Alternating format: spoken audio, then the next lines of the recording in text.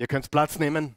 Wir begrüßen alle, die uns zuschauen, zu Hause oder unterwegs oder wo immer ihr seid, egal ob jetzt oder zum späteren Zeitpunkt. Wunderbar, dass ihr dabei seid. Und es ist, ich möchte einfach sagen, es ist eine große, große Freude, ein großes Privileg, das Wort Gottes zu verkündigen, mit euch zu teilen. Und es ist wirklich mein wöchentliches Highlight. Mein wöchentliches Highlight ist es, der Sonntag hier. Ich freue mich fast immer wie ein kleines Kind auf den nächsten Sonntag.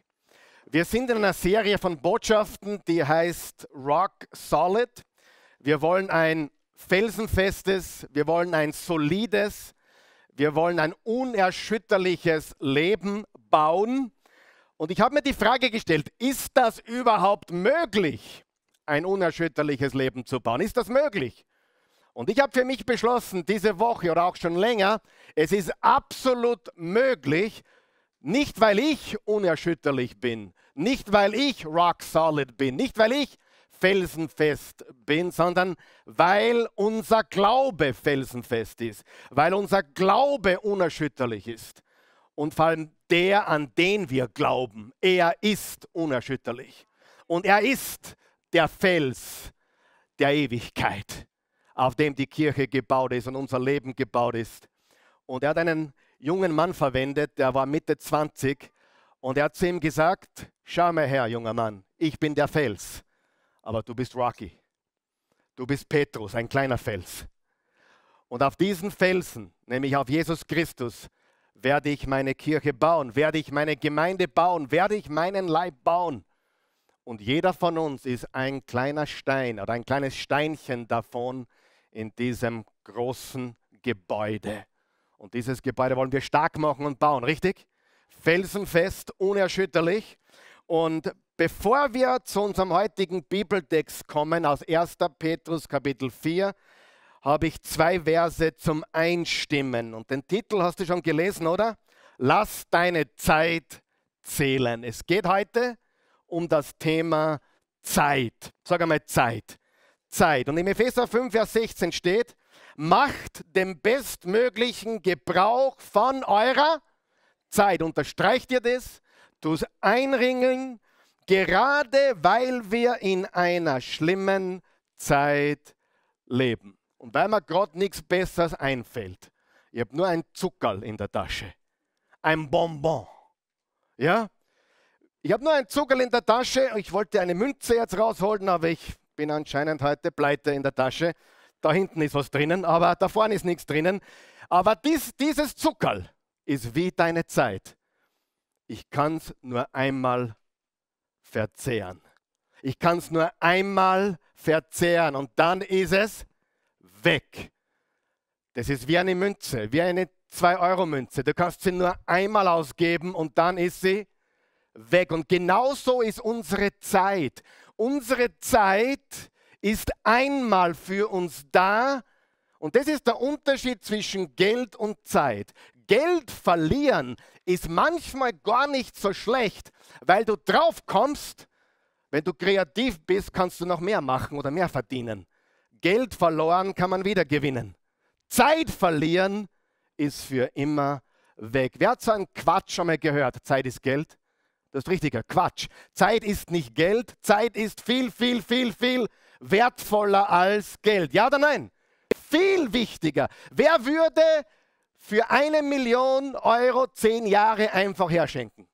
Niemand von uns. Niemand von uns. Außer du bist lebensmüde.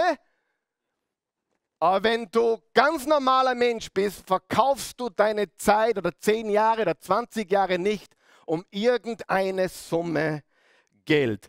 Macht den bestmöglichen Gebrauch von eurer Zeit, gerade weil wir in schlimmen Zeiten leben. Es waren damals schlimme Zeiten, es sind heute schlimme Zeiten. Lesen wir es gemeinsam bitte laut. Eins, zwei, drei. Macht den bestmöglichen Gebrauch von eurer Zeit, gerade weil wir in schlimmen Zeiten leben. Und im Psalm 90, Vers 12 hat der Moses, der ja 120 geworden ist, Folgendes gesagt. lehre uns zu bedenken. Er betet hier zu Gott. Lehre uns zu bedenken, wie wenig Lebenstage uns bleiben, damit wir ein Herz voller Weisheit erlangen. Weißt du, wie du weise wirst? Indem du verstehst, dass du sterben wirst. Weise macht dich, dass du weißt, deine Tage sind gezählt. Als ich in der Schule war, hatte ich eine ganz, ganz hübsche Lehrerin. Ich habe mich verliebt in sie. Sie war hübsch, sie war wirklich eine schöne Frau. Wir waren 13, 14 Jahre und sie war 29. Und ich dachte mir, wow, die ist aber schon alt. Und die hat gar nicht mehr so viel Zeit. Heute mit 49 könnte sie meine Tochter sein. Klingt komisch, ist aber wahr. Wer von euch weiß, wenn wir jung sind, dann glauben wir, wir haben endlos Zeit. Und dann werden wir älter und nehmen zu und wir erkennen, dass die Zeit immer schneller rennt. Ist das richtig? Absolut. Zeit ist unser Thema heute, weil das ein ganz wichtiger Punkt ist. Wir werden uns heute sechs Verse aus 1. Petrus 4 anschauen. Wir haben ein Zeitbewusstsein. Je älter wir werden, umso größer wird dieses Zeitbewusstsein. Wir zählen Zeit, wir messen Zeit, wir haben Uhren, wir haben Kalender, um Zeit zu messen. Ein Jahr hat wie viele Tage? Wie viele? Wollt ihr es genau wissen? 365 Tage, 5 Stunden, 48 Minuten und 45 Sekunden. Es gibt ein Schaltjahr, aber das genaue Jahr ist 365 Tage, 5 Stunden, 48 Minuten und 45 Sekunden. Das sind 8766 Stunden pro Jahr oder 525.069 Minuten. Die Sekunden erspare ich uns. Mal 60. Freunde, Zeit ist wichtig. Amen. Zeit tickt, Zeit ist wichtig, Zeit zählt. Wenn du ein europäischer Mann bist, die meisten von uns sind Europäer, oder? Der durchschnittliche europäische Mann wird 73,2 Jahre. Das ist die derzeitige Lebenserwartung eines durchschnittlichen Mannes. Die Frau wird 6,4 Jahre älter im Schnitt. Die europäische Frau wird im Schnitt 79,6 Jahre.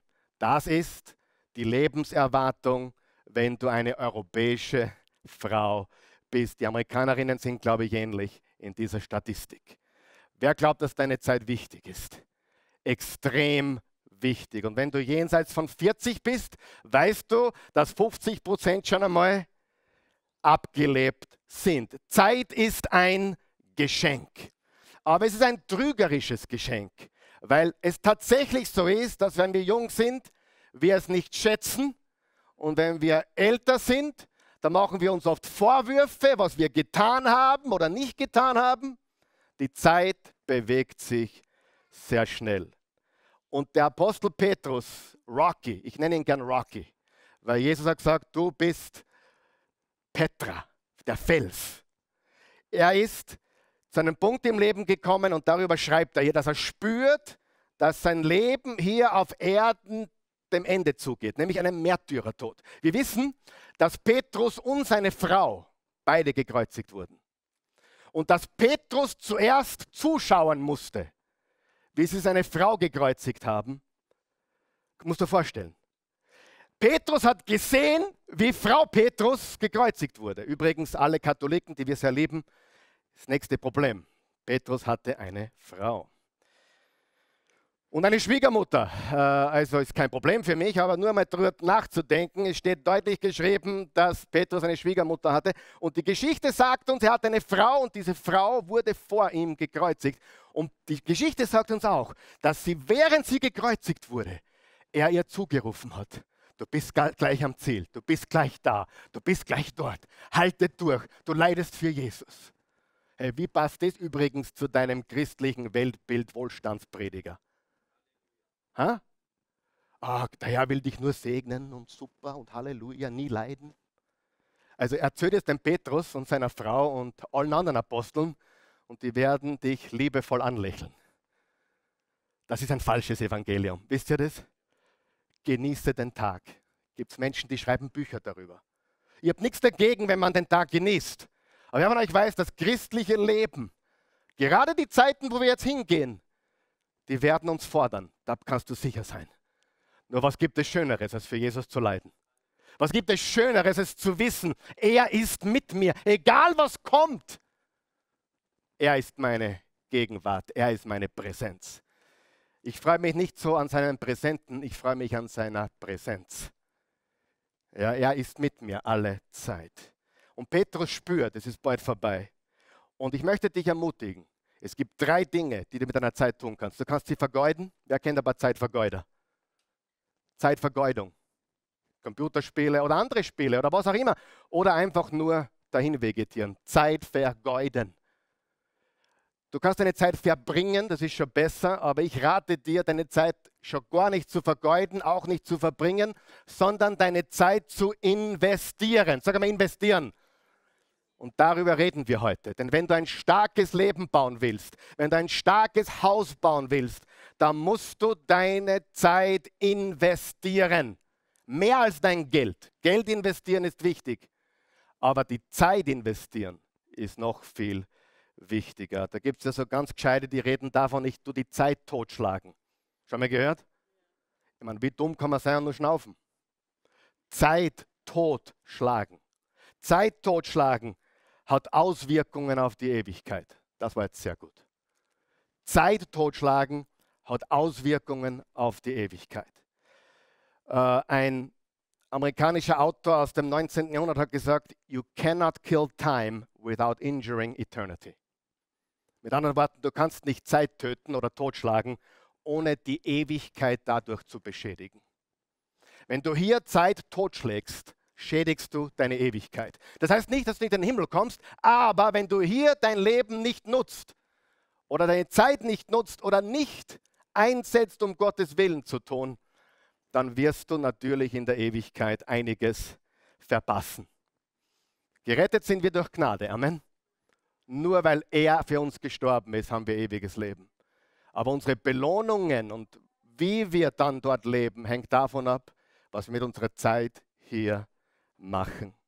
Zeit zählt, Zeit ist wichtig. Und bevor wir die Passage lesen im 1. Petrus, er redet über zwei Dinge. Sagen wir mal zwei Dinge.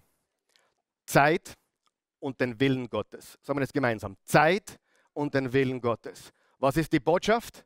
Was sollten wir mit unserer Zeit tun? den Willen Gottes. Was ist die beste Investition unserer Zeit? Den Willen Gottes zu tun.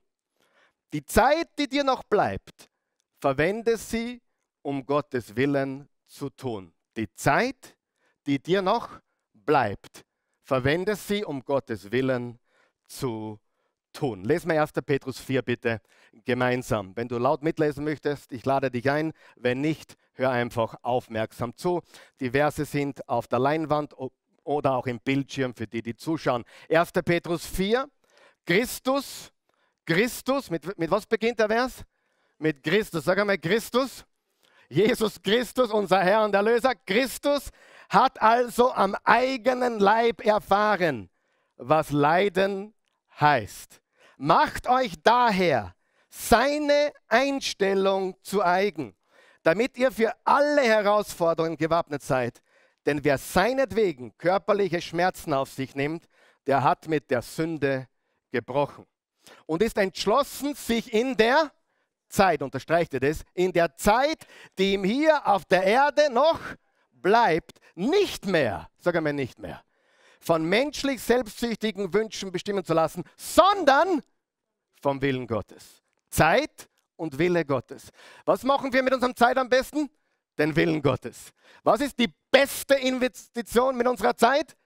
Den Willen Gottes zu tun. Wir reden heute darüber, wie man den auch findet. Vers 3. Ihr habt ja in der Vergangenheit lange genug das getan, wonach Menschen der Sinn steht die Gott nicht kennen. Ausschweifungen gehörten dazu, das Ausleben eurer Begierden, Alkoholexzesse, Schlemmen und Saufen. Ich liebe es, wenn die Bibel so klar und deutlich spricht. Und abstoßender Götzendienst. Deshalb wundern sich die Leute, dass ihr bei ihrem zügellosen Treiben nicht mehr, sag einmal nicht mehr, Früher schon, aber nicht mehr. Nicht mehr mitmacht. Und sie reden abfällig über euch. Sie beschimpfen euch, weil ihr nicht mehr mitmacht bei, eurer, bei den Partys und Fress- und Saufgelage. Doch sie werden sich vor dem verantworten müssen, der schon bald über alle Menschen Gericht halten wird, über die Lebenden und über die Toten. Wer ist es? Christus Jesus. Vers 6. Deswegen war es nämlich auch nicht umsonst, dass denen von uns, die inzwischen gestorben sind, das Evangelium, die gute Nachricht, verkündet wurde. Es wurde ihnen verkündet, damit sie jetzt nach Gottes Plan ein Leben, ein Leben im Geist führen können, auch wenn sie, was ihr irdisches Leben betrifft, nach Gottes Urteil sterben mussten, wie das bei allen Menschen der Fall ist. Alle Menschen sterben. Sogar bei uns in Oberösterreich ist die Sterberate 100 Prozent. Sie ist überall 100 Prozent. Alle Menschen sterben. Ich möchte mit dir, mit, mit, mit mir, mit uns jetzt vier Wege aufzeigen, wie wir Zeit richtig investieren können. Und diese Passage ist sicherlich herausfordernd, aber wer ist bereit für Herausforderung? Okay, lesen wir den ersten Punkt und der ist, widerstehe der Sünde. Ich glaube, ich brauche niemanden fragen, ob er diese Woche eine Versuchung mit der Sünde hatte, oder? Frage, ist irgendjemand da, der keine Versuchung hatte? Ich will mit dir reden. Ich will mit dir reden. Entweder du bist Superman oder Superwoman oder du lügst mich an. Wer hatte Versuchung diese Woche? Ja, super. Drei von euch, fünf, zehn, super. Was hat Jesus im Vater unser gebetet? Führe uns nicht in Versuchung. Oder besser gesagt, wenn wir in Versuchung geraten, lass uns nicht einknicken. Lass uns nicht zusammenbrechen. Das ist die eigentliche Bedeutung. Denn versucht werden wir alle. Alle mit dieser Welt, mit Sex, Drugs und Rock'n'Roll und alles, was dazugehört. Das ist normal. Sag mal, das ist normal. Ganz normal. Wäre abnormal, wenn du es nicht mehr hättest. Widerstehe der Sünde. Wer von euch, die viel gesündigt haben, kann bestätigen, Sünde ist Zeitvergeudung. Es ist Vergnügen. Die Bibel übrigens sagt im Hebräer 10, Vers 24 und 25, ich glaube, dass Sünde Spaß macht. Dass es Vergnügen ist. Die Bibel leugnet nicht, dass Sünde Spaß macht. Hast du das gewusst? Also der Hebräer-Autor war kein Oberheiliger. Wenn du wenn, du, wenn dir die Sünde Spaß macht, dann bist du nicht heilig genug. Quatsch. Sünde macht Spaß. Aber dann steht weiter, den flüchtigen Genuss der Sünde. So steht es geschrieben. Moses weigerte sich, dem flüchtig, sag mal flüchtig, flüchtigen Genuss der Sünde nachzugeben und entschloss sich mit dem Volk Gottes Israel zu leiden. Der flüchtige Genuss der Sünde. Lesen wir Vers 1 noch einmal. Christus hat also am eigenen Leib erfahren, was Leiden heißt. Macht euch daher seine Einstellung, unterstreicht ihr das, seine Einstellung zu eigen. Ich freue mich riesig, ich sehe Leute wieder da, die seit der Corona-Zeit nicht da waren. Servus, ich freue mich einfach. Immer mehr, die zurückkommen. Super, sind wir nicht froh? Wenn du dich noch nicht traust, wir sind da, wann du dich traust. Ja? Wir sind da. Macht euch daher seine Einstellung, unterstreicht ihr seine Einstellung. Wessen Einstellung? Die Einstellung von Christus. Übrigens im, im Philippa 2, Vers 5 steht, wir sollten dieselbe Gesinnung haben, die Jesus Christus auch hatte. Zu eigen, damit ihr für alle Herausforderungen gewappnet, unterstreicht ihr gewappnet, seid. Denn wer seinetwegen körperliche Schmerzen auf sich nimmt, der hat mit der Sünde gebrochen. Unser Kampf spielt sich im Kopf ab. Im Römer 12, Vers 2 steht, erneuert euer denken. Im Epheser 4, Vers 23 steht, seid erneuert in eurem Sinn. Im Epheser 6, Vers 10 bis 18 steht, dass wir gekleidet sein sollten mit der Waffenrüstung Gottes. Frage, braucht es irgendjemand von uns? Wer braucht einmal immer wieder auch ein neues Denken? Richtiges Denken. Dass deine Gedanken zurechtgerichtet werden. Jeder von uns. Und wir brauchen das Schwert des Geistes und das Schild des Glaubens und den Helm des Heils und den Brustpanzer der Gerechtigkeit, den Gürtel der Wahrheit, wie im Epheser 6 beschrieben steht. Welches Denken brauchen wir? Jetzt wird es einige freuen, was ich sage, einige weniger. Kommt darauf an, auf welche Seite du stehst. Wir brauchen ein aggressives, militantes Denken, was die Sünde betrifft.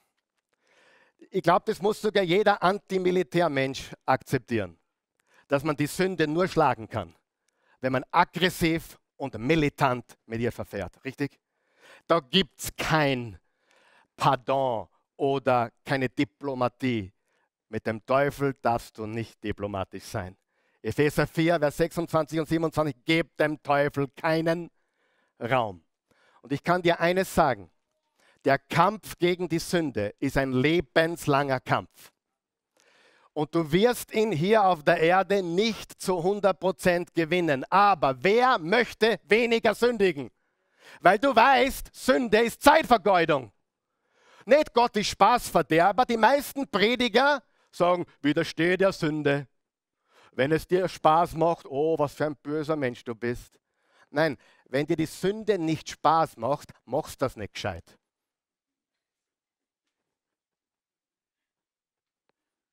Wenn du schon sündigst, mach's gescheit.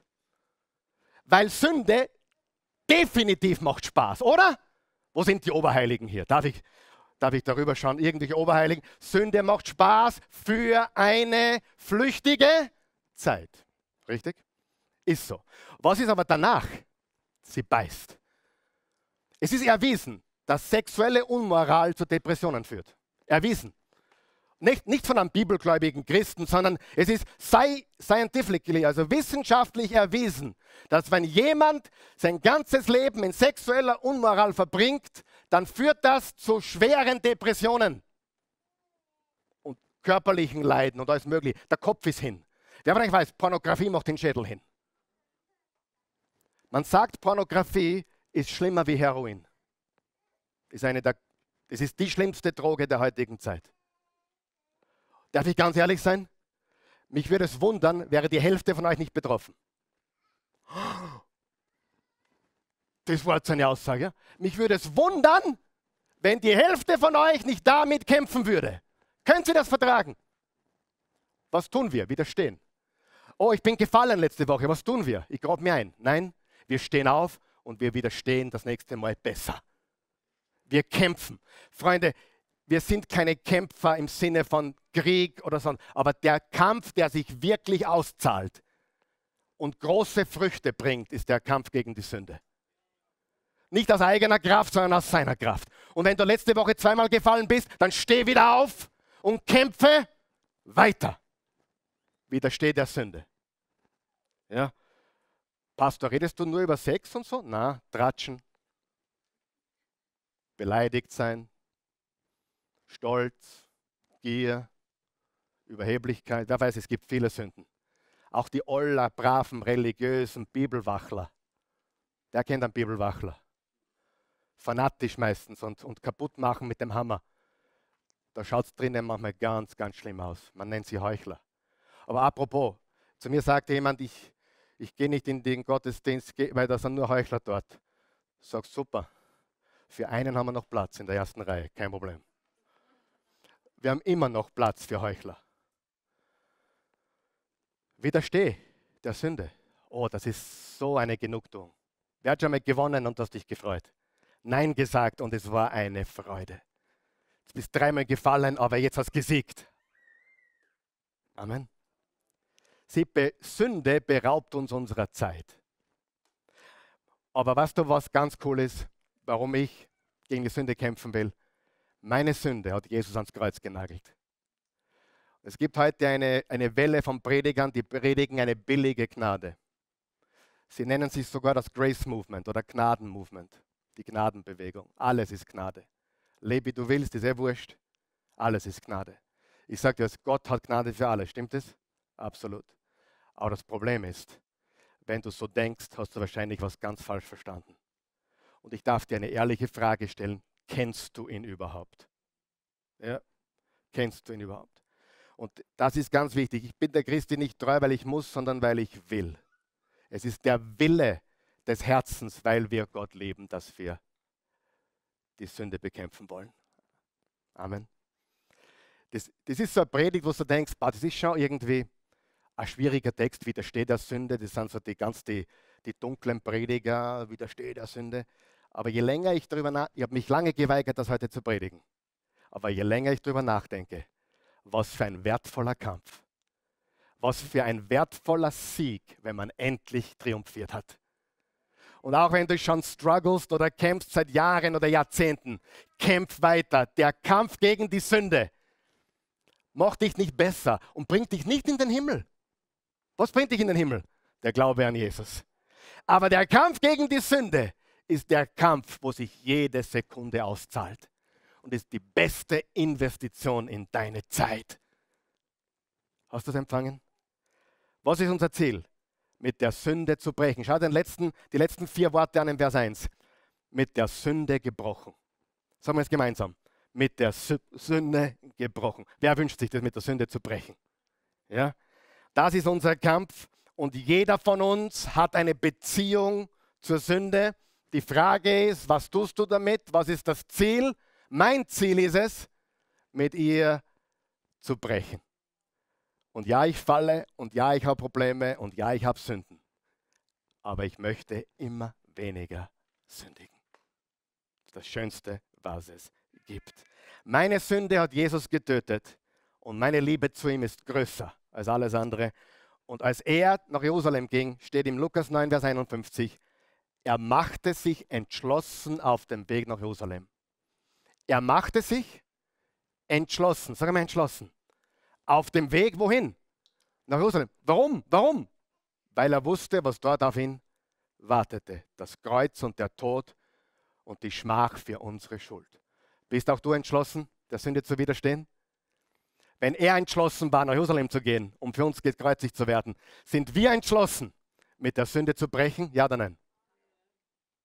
Werden wir es 100% hinkriegen hier? Nein. Aber kämpfen wir weiter? Jede Sekunde? ist es wert. Es gibt fast nichts, was so wertvoll ist. Deine Zeit zu investieren, gegen das anzukämpfen. Wo beginnst du? Mit dem Kopf. Erneuer deine Gedanken. Ich weiß nicht, wer es gesagt hat.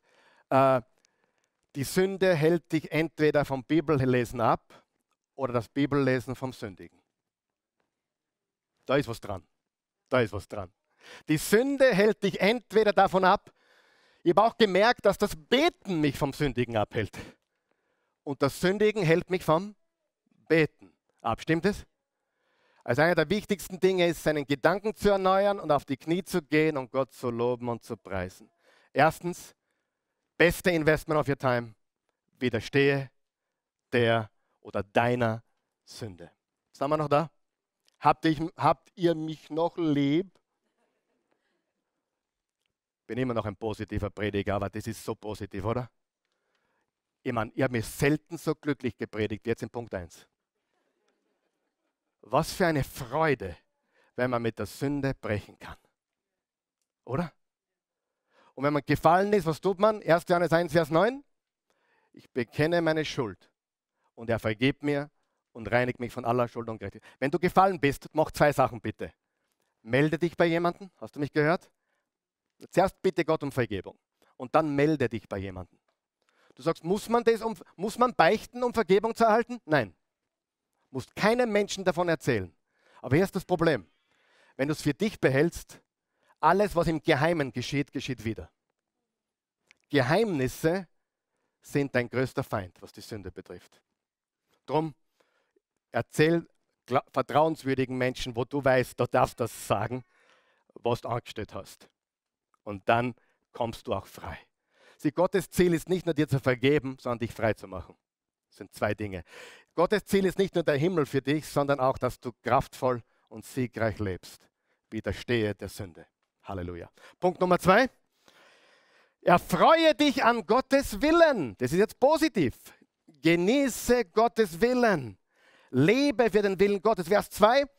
Er hat mit der Sünde gebrochen und ist entschlossen, sich in der Zeit, die ihm hier auf der Erde noch bleibt, nicht mehr von menschlich selbstsüchtigen Wünschen bestimmen zu lassen, sondern vom Willen Gottes. Zwei Dinge, Zeit und Wille Gottes. Was machen wir am besten mit unserer Zeit? Den Willen Gottes. Wenn ich das erste schon glücklich gepredigt hat, dann das zweite, glaube ich, noch mehr. Der, der beste Gebrauch deiner Zeit ist, wenn du den Rest deiner Zeit, wie lange das auch ist, dafür investierst, Gottes Willen zu tun. Leben für Gottes Willen. Gottes Wille Nummer eins in unserem Leben. Amen. Jesus hat gesagt, Matthäus 6, Vers 33, trachtet zuerst nach dem Reich Gottes und seiner Gerechtigkeit und alles andere, was du brauchst, nicht was du willst, aber was du brauchst, wird dir dazugegeben werden. Gott ist nicht im Business, alle deine, deine Gier zu erfüllen, aber er ist im Business, deinen Nöten abzuhelfen. Das, was du brauchst. Und das tut Gott, wenn wir ihm vertrauen. Der Wille Gottes für dein Leben ist das Wichtigste und Aufregendste in deinem Leben. Wie entdecke ich Gottes Willen? Das ist, lustig. das ist jetzt ein bisschen lustig, weil die Christen sind komische Leute, sagen wir mal ganz ehrlich. Vor allem Freikirchler sind komische Leute, oder? Ganz ehrlich jetzt einmal. Ja oder nein? Der Wille Gottes, ja, und dann, dann, keine Ahnung, dann gehen sie ins Gebet und setzen sich ins Eck und oh, dann sehen sie Bilder und Visionen und hören Stimmen. Und Kennst du das? Wer weiß, man kann da, da, da gibt es da eine wahre Geschichte. Äh, ein sehr, sehr gut aussehender christlicher Popsänger, ich nenne jetzt den Namen nicht, einige würden ihn kennen, nicht alle. Und äh, das war eine Geschichte. Und äh, lauf, laufend kamen Frauen zu ihm. Der ist jetzt schon über 60, jetzt ist er endlich verheiratet. Ja. Aber Gott sei Dank für ihn. Aber der war 50 und noch Junggeselle. Und die Frauen sind zu Hunderten und sogar Tausenden zu ihm gekommen. Ich habe letzte Nacht gebetet oder heute früh gebetet. Der Herr hat mir gezeigt, du bist mein Mann. Und, und er sagte, naja, wenn es der Herr mir auch zeigt, dann lassen wir uns heiraten. Wer von euch weiß, es gibt so viele komische Christen, die durch irgendwelche komischen, äh, willkürlichen Erscheinungen oder Stimmen den Willen Gottes angeblich hören. Spricht Gott zu unserem Herzen? Ja, aber er wird nie widersprechen, was da drinnen steht. Niemals. Das heißt, der Geist Gottes leitet uns immer im Einklang mit dem. Und jetzt gibt er, gibt er eine gute Richtschnur. Wenn du nicht tust, was da drinnen steht, dann wird dir kaum Gott noch was sagen.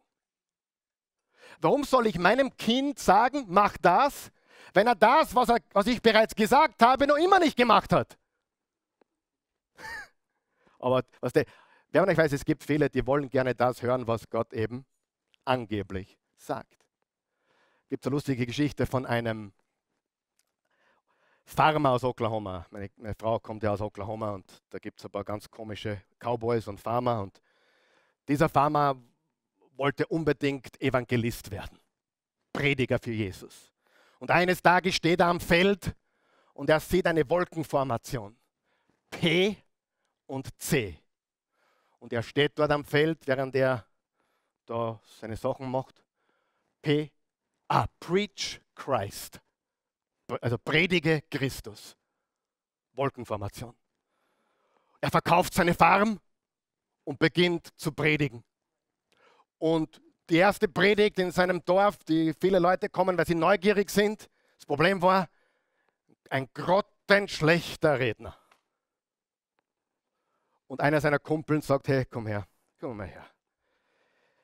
Bist du nicht sicher, dass das PC nicht steht für Plant Corn? Also Pflanze Mais. Weißt du, das mit dem Willen Gottes, und du siehst das sehr häufig unter Christen, ist nichts Mystisches oder Komisches. Wo entdecken wir den Willen Gottes am ehesten? Fleißiger auf den Knien und fleißig in seinem Wort. Und wer von euch weiß, so viele sind faul. Äh, ein Prediger hat einmal einen anderen gefragt, du, ein, ein, ein junger Prediger hat einen weisen alten Prediger gefragt, von dem ich übrigens die Idee bekam, Vers für Vers auf die Bibel zu predigen. Hat mein Leben verändert übrigens. Tue ich auch heute übrigens, wenn du es merkst. 1. Petrus 4, 1 bis 6. Nur sechs Verse. Er hat gesagt, warum tun die meisten Prediger nicht die Bibel Vers für Vers Bibelstudium machen? Because they're lazy, war seine Antwort. Weil sie zu faul dazu sind. Wenn du Gottes Willen entdecken willst, da musst du ein fleißiger Nachfolger Jesus sein, auf den Knien und in seinem Wort. Und nicht in der Sauna sitzen und hoffen, dass dich die Wärme erwärmt und du Gottes Willen siehst. Wer weiß, in der Sauna kriegt man ein warmes Gefühl. Jemand, ey, das wirklich, jemand sagt zu mir, Karl Michael, deine Predigten geben mir ein warmes Gefühl. Sag ich, super. Habe letzte Nacht in der Badwanne gehabt. Ja. Wir müssen verstehen, Gottes Wille kommt nicht mystisch oder komisch, sondern durch das Wort und durch seinen Geist. Und das kriegt man nur, wenn man wirklich. Und ich bin aufgewachsen in einer Gesellschaft als junger Christ. Meine Eltern waren junge Christen und da gab es noch keine Gemeinden, es gab noch nichts wirklich, wo Menschen hingehen konnten. Und da wurden wir gelehrt, die Bibel so zu lesen. Wer kennt das noch? Gott spricht zu mir. Judas erhängte sich.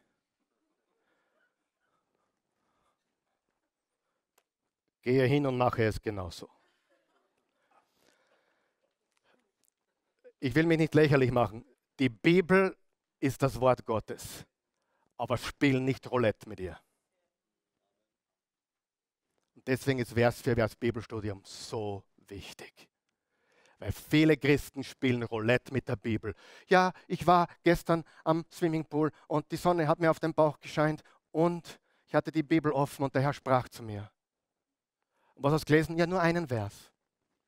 Und was steht im Kontext? Weiß ich nicht. Problem. Gottes Wille ist leicht zu erkennen, wenn wir im Wort sind und wirklich ihn suchen. Halleluja. Amen. Gut, gehen wir zum dritten Punkt. Lasse deine Vergangenheit hinter dir. Im Vers 3 steht, ihr habt ja in der Vergangenheit, unterstreicht die Vergangenheit, lange genug das getan, wonach Menschen der Sinn steht, was sie wollten, die Gott nicht kennen, Ausschweifungen gehörten dazu, das Ausleben eurer Begierden, Alkoholexzesse, Schlemmen und Saufen, ich liebe es, und abstoßender Götzendienst. Lass all diese Dinge hinter dir. Sagen wir es gemeinsam. Lass all diese Dinge hinter dir. Die sind nicht gut für dich. Sie sind nicht das Beste für dich. Und um, um beim heutigen Thema zu bleiben, stimmt es nicht, dass das alles Zeitvergeudung ist? Ja oder nein? Zeitvergeudung. Zeitvergeudung, das ist das Problem. Und irgendwann muss der Punkt kommen, wo du sagst, genug ist genug. Dieser Laptop, dieser Computer, dieses Handy, dieses, dieses Trinkgelage, die, diese Clubs oder was immer ich praktiziere, genug ist genug. Es zerstört mich. Es zerstört mein Leben. Und ich will meine Zeit nutzen, um Gottes Willen zu tun. Und dazu ist notwendig, dass ich auch die Vergangenheit hinter mir lassen. Jetzt haben wir eine Liste von Dingen ge gelesen. Manche von euch können sich mit all diesen Dingen identifizieren. Ja, ich glaube, da sind ein paar, die alles von dem gemacht haben, oder? David grinst. Der David hat sicher alles davon gemacht auf dieser Liste. Ja. Oder? Ich wollte nur sagen, oder? Der eine oder andere hier sagt, naja, alle nicht, aber so ein, zwei Punkte, ja. Und dann musst du aber sagen, genug ist genug, richtig? Das ist nicht gut für mich, das stiehlt mir die Zeit, das ist Zeitvergeudung. Und manche hier, jetzt möchte ich zu den Überreligiösen reden, darf ich kurz? Die können sich mit keinem der Dinge identifizieren, weil es jetzt brav in einem christlichen Zuhause aufgezogen worden. Ihr wart immer brav, habt nie gesündigt. Zumindest nicht äußerlich. Aber irgendwann muss der Punkt kommen, wo du sagst, Ende mit jeder Selbstgerechtigkeit. Weißt du, wir haben viele Menschen, die hier auch ein- und ausgehen und durchmarschieren. Und was ich, was ich immer mehr beobachte, ist, Viele sind Religion beladen. Und das ist oft das Schwierigste durchzubohren, durch diese Religiosität. Weil eines, was du hier nicht finden wirst, ist jemand, der viel davon hält, eine Liste abzuarbeiten. Wir haben am 27. September, also in fünf Wochen, haben wir hier die nächste Taufe. Wir werden Menschen taufen. Aber bei manchen Leuten habe ich das Gefühl, sie wollen sich taufen lassen, damit sie dahinter ein Hackerl machen können. Das ist Religion. Du solltest dich taufen lassen, damit die Welt sieht, dass du Jesus liebst. Das ist kein Werk, was dich zum besseren Christen macht. Du musst auch nicht getauft sein, um in den Himmel zu kommen. Muss ich getauft sein? Nein, du musst glauben, um getauft werden zu können. Aber bitte, es gibt so viele, die sind so drinnen in diesem Stricherliste, abhaken, das habe ich gemacht von meiner christlichen Liste. Ich hoffe, ich dringe zu einigen von euch durch, die, die wirklich kapieren.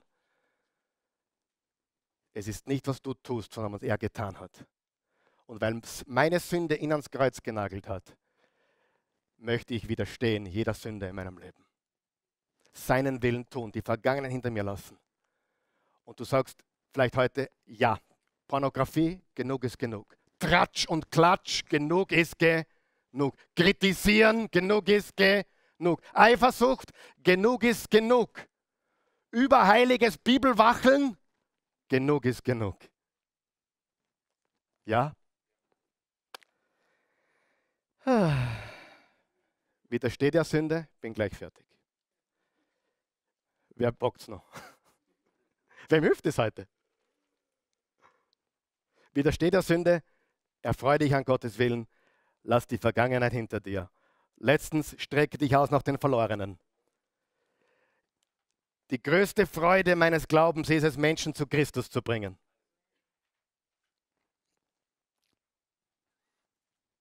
Deine auch? Du sagst, aber das ist nicht meins, ich kann das nicht. Probier's. Ohne Besserwisserei, sondern nur aus Liebe zum Menschen und zu Jesus. Ich sage dir, eine größere Freude gibt es nicht. Im Vers 4 steht, deshalb wundern sich die Leute, dass ihr bei ihrem zügellosen Treiben nicht mehr mitmacht. Bei wem haben sich ein paar Leute gewundert, dass du nicht mehr mitmachst? Und was kann passieren, wenn du aufhörst mit ihrem Getue? Und sie reden abfällig über euch. Kann das passieren? Absolut. Ah, du machst nicht mehr mit. Bist jetzt ein besserer geworden. Du rauchst nicht mehr. Ah, Überheiliger. Oh. Was? Du bist zu gut für uns. Ah. Abfälliges Reden. Doch sie werden sich vor dem verantworten müssen, der schon bald über alle Menschen Gericht halten wird, über die Lebenden und über die Toten. Sieh, du bist nicht ihr Richter, lass Gott das tun, okay? Du nicht Leute verurteilen, überlass das Gott. Deswegen war es nämlich auch nicht umsonst, dass denen von uns, die inzwischen gestorben sind, also die vor uns gestorben sind, das Evangelium verkündet wurde. Sehr, sehr wichtig. Es wurde ihnen verkündet, damit sie jetzt nach Gottes Plan ein Leben im Geist, also im Himmel führen können, auch wenn sie, was ihr irdisches Leben betrifft, nach Gottes Urteil bereits gestorben sind, sterben mussten, wie das bei allen Menschen der Fall ist. Sieh, ganz ehrlich, für die Welt ist ein Jesus-Nachfolger komisch. Hast du schon gemerkt? Ist komisch.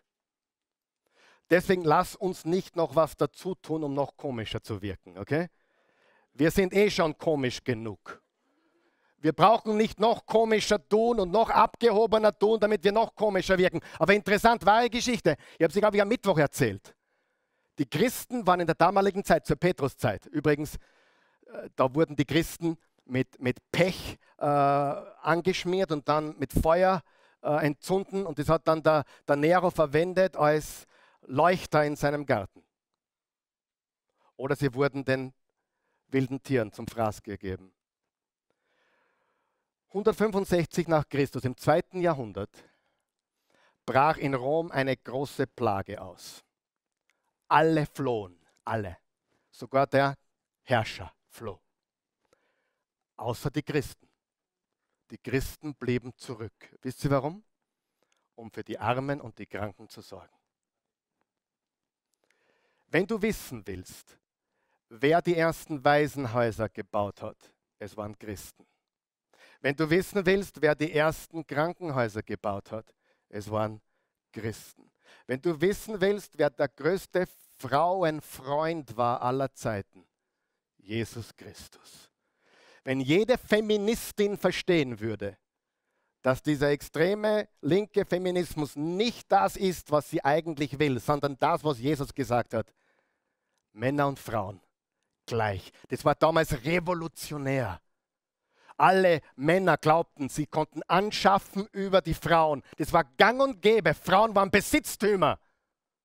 Und dann kam Jesus und dann kam Paulus, dann kam Petrus und sagte, Frauen sind alle gleich wie Männer. Bei Christus gibt es weder Meister noch Sklaven, Juden noch Griechen, weder Mann noch Frau. Wer glaubst, hat das in die Welt gesetzt? Jesus. Du kannst einen Mann lesen by the name of Jordan Peterson. Ob er wirklich ein gläubiger Christ ist, kann ich nicht sagen. Aber er verteidigt und beschreibt das, ein studierter, hochgradig intelligenter Mensch, hat Millionen von Zuschauern YouTube, hat super, er macht Geschichte und Wissenschaft und er sagt, nichts auf dieser Welt hat die Welt so geformt wie das Christentum. Und überall auf der Welt heute, wo das Christentum Fuß gefasst hat, irgendwann einmal, siehst du, dass es den Menschen besser geht. Schau dir die Welt an. Wir leben im christlichen Abendland. Das Christentum, Jesus, hat allen Menschen die gleiche Würde gegeben und die Christen waren komisch für die Welt. Aber es steht hier, sie werden uns vielleicht beschimpfen oder abfällig über uns reden, aber was sollten wir tun? Wir sollten sie lieben. Wir sollten sie zu Jesus hinlieben. Wir sollten ihnen das Evangelium predigen in einer Art und Weise, dass verstehen, Gott liebt dich. Nicht mit Hammer und nicht mit einer Bibel, die herumwachelt, sondern mit Liebe. Wer wünscht sich, dass deine Allerliebsten auch zu Jesus finden? Oh mein Gott. Warum ist es wichtig, dass wir liebevoll mit ihnen umgehen? Damit schließe ich ab. Erstens, sie sind blind. Im 2. Korinther 4, Vers 4 steht, der Satan hat die Augen des Herzens der Ungläubigen verblendet. Sie sind blind. Warum können sie denn Jesus nicht sehen? Denn du siehst jetzt so deutlich, weil sie blind sind. Wie wenn du zu einem Blinden sagen würdest, schau dir den super Sonnenuntergang an. Sagt er, tut mir leid, ich kann nicht. Ist dir das klar? Jemand, der verblendet ist, kann es nicht sehen. Es gibt Menschen, Freunde von uns, die schon 10, 15 Mal hier waren und jedes Mal sagen, super Predigt, aber ich kann es nicht sehen. Aber wie klarer kann man es predigen? Nicht viel klarer, oder? Ich meine, vielleicht nicht eloquent, aber klar zumindest, oder? Sie können nicht. Sie sind blind. Hat Gott dir die Augen aufgemacht? Bete, dass Gott ihnen die Augen aufmacht. Hör nicht auf zu predigen, hör nicht auf zu leben, aber bete, dass Gott ihnen die Augen aufmacht.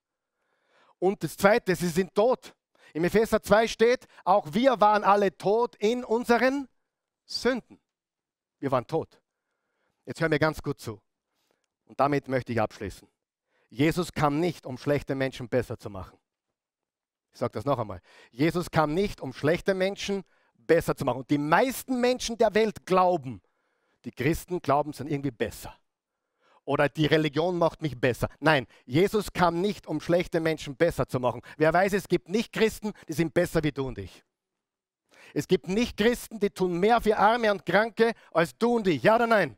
Jesus kam nicht, Schande, Jesus kam nicht, um schlechte Menschen besser zu machen.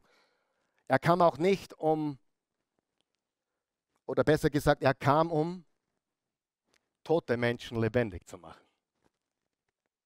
Das Problem ist nicht, dass du schlecht bist. Das Problem ist, dass du tot bist. Ohne Jesus. Und darum haben wir ewiges Leben, weil er in unser Leben. Sieh, und damit müssen wir aufräumen. Jede Religion versucht dich besser zu machen. Ich will dich nicht besser machen. Ich will, du verstehst, dass er gekommen ist, um Tote lebendig zu machen. Das ist unsere Message. Und dann natürlich werden wir uns auch ändern, weil es aus dem tiefsten Herzen herauskommt. Das ist unsere Botschaft. Ja, wir sind komisch, aber wir können einen Unterschied machen in der Welt. Mit Licht der Welt und Salz der Erde. Und das ist, was wir tun wollen. Wir wollen den Rest unseres Lebens die restliche Zeit damit verbringen, den Willen Gottes zu tun. Amen. Lass uns aufstehen. Vater, guter Gott, wir, wir loben, wir preisen und erheben dich. Wir danken dir für deine unendliche Güte, deine Liebe, deine Gnade, deine Erbarmen, deine Treue. Danke, dass obwohl wir alle Sünder sind oder gesündigt haben, haben wir einen Retter, der all unsere Sünden am Kreuz gezahlt hat, getragen hat und uns freigemacht hat von aller Schuld. Gott, es gibt keine bessere Botschaft. Es gibt nichts Vergleichbares in der ganzen Welt, im ganzen Universum. Zuerst möchte ich dich bitten für die, die noch blind sind oder bis jetzt blind waren. Vielleicht jetzt noch tot sind, geistlich tot, weil sie Christus noch nicht haben. Aber dir sind heute die Augen aufgegangen. Jetzt sind dir die Augen aufgegangen. Du, du, du siehst, dass du ein Sünder bist, dass du hoffnungslos verloren bist, dass du einen Retter brauchst. Und sein Name ist Jesus. Wenn du ihn annehmen möchtest, die Bibel ist ganz deutlich, Johannes 3, Vers 16, so sehr hat Gott die Welt gelebt, dass er einen einzigen Sohn gab, damit jeder, der an ihn glaubt, nicht verloren geht, sondern ein ewiges Leben hat. Römer 10, wenn du mit dem Mund bekennst, Jesus ist Herr und mit dem Herzen an seine Auferstehung glaubst, bist du gerettet. Willst du das tun? Willst du diese Rettung annehmen, diese Gnade? Folge mir bitte in diesem Gebet. Guter Gott, danke für Jesus. Jesus, ich glaube, dass du der Sohn Gottes bist, dass du Mensch wurdest, vom Himmel herabgestiegen bist, Wohnung in deinem Körper genommen hast, sündenfrei gelebt hast, geheilt hast, befreit hast, vergeben hast und dann als Unschuldiger für meine Schuld und für die Schuld der Welt ans Kreuz gegangen bist. Und das glaube ich jetzt. Und ich bekenne, Jesus, ich vertraue dir und ich bekenne dich als meinen Herrn und Erlöser. Verändere mich. Hilf mir zu widerstehen. Hilf mir, die Vergangenheit jetzt hinter mir zu lassen. Deinen Willen zu tun und anderen zu erzählen, was heute in mir passiert ist. Dass du lebst. Ich will ein Mensch sein, der sich Nachfolger Jesu nennt. Der als Nachfolger Jesu lebt. Will einen Unterschied machen in dieser Welt. Ich will Menschen sehen, zu dir kommen, Jesus. Benutze mich in Jesu Namen. Amen. Amen. Jesus ist so unglaublich, unbeschreiblich, gewaltig und wunderbar. Wenn ich einen Traum habe, bitte weckt mich nicht auf. Es ist gewaltig. Gott ist gut. Amen. Jesus liebt dich.